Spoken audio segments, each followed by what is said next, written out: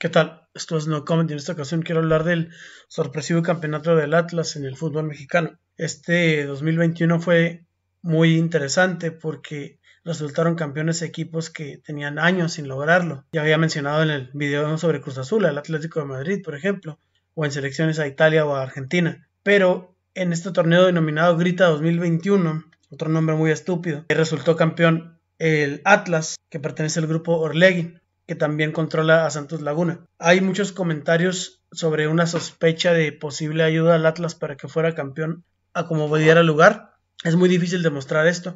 Sin embargo, el partido resultó interesante porque se mantuvo la disputa hasta el final.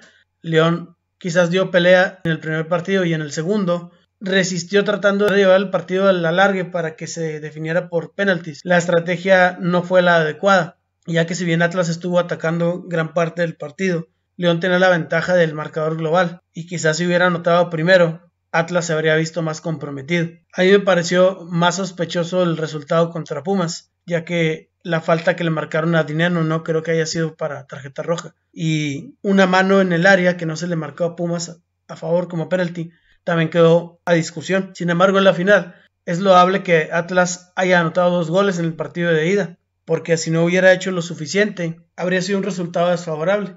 Ganan 1-0 en los 120 minutos y se termina definiendo por penaltis, con lo que el cuadro rojinegro obtiene su segundo título de liga en toda su historia después de 70 años. El primero y único había sido en 1951 cuando el torneo se disputaba por puntos. En esa ocasión fueron el primer lugar y el subcampeón resultó Atlante. Eh, enhorabuena para los aficionados del Atlas, independientemente de las polémicas y las controversias sobre un posible amaño de partido. Muchas gracias y hasta pronto.